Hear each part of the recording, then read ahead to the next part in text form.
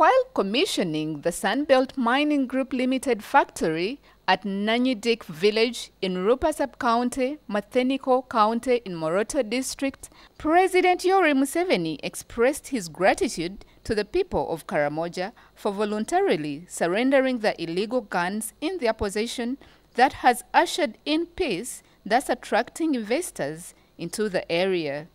The plant that currently employs 120 Ugandans sits on a 3.3 square kilometer piece of land and produces marble floor bathroom and kitchen tiles of all sizes. It is estimated that 560 million metric tons of marble are available in the area. The president noted that because of peace, the region is today witnessing a lot of development activities like the tarmacking of the major roads, availability of electricity, and a booming construction sector.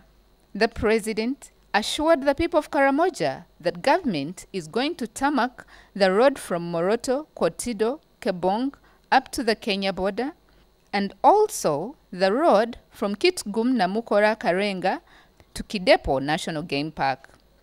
Mr. Museveni further disclosed that he has held discussions with his Kenyan and Ethiopian counterparts on the possibility of constructing a road through Kenya to Ethiopia in order to access the Ethiopian market.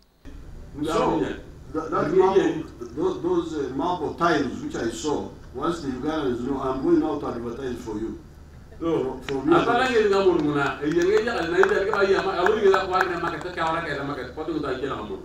ngel ngamul muna yenge ya na ida ke ba ya ma awuri ga kwa na market ka wala ka market ko to ta jela ngamul ni these people don't know this wonderful marble.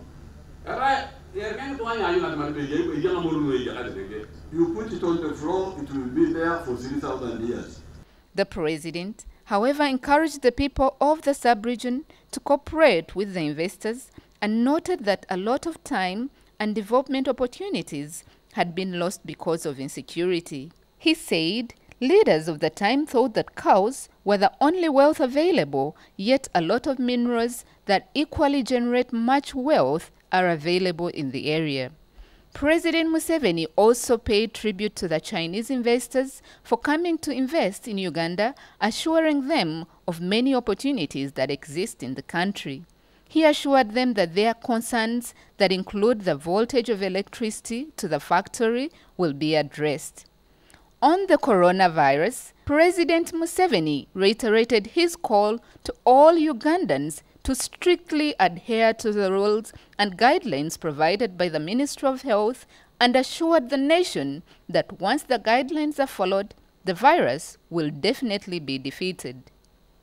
So that's why I have advised people, if you if you have a, flu, if you have, a, even if it's not corona, but if you have coughing, sneezing, don't go into the public.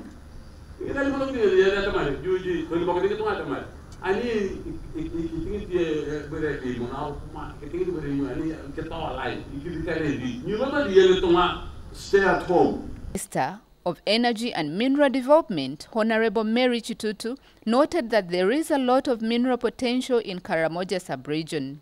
She thanked the president for the infrastructure in the area that has eased movement.